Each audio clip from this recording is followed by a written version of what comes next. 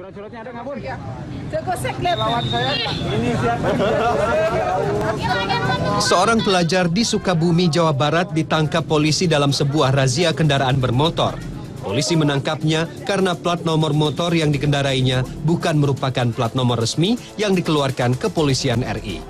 Pelajar ini mengaku bahwa motor yang dikendarainya bukan miliknya. Razia kendaraan bermotor ini dilakukan untuk memeriksa surat izin dan kelayakan berkendara. Tercatat, 36 pelajar di kota Sukabumi mengendarai motor tanpa memiliki dokumen. Akhir-akhir ini banyak kecelakaan lalu lintas eh, pada usia yang belum cukup umur. Eh, misalkan yang eh, kemarin terjadi kita eh, lihat bersama yang terakhir kejadian di Tol Jagorawi. Setelah dinasehati, polisi kemudian menyerahkan 36 pelajar yang terjaring dalam razia kepada guru dari sekolah masing-masing untuk diberi sanksi.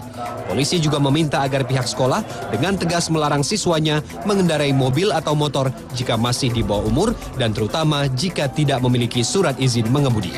Ahmad Fikri, Sukabumi, Jawa Barat.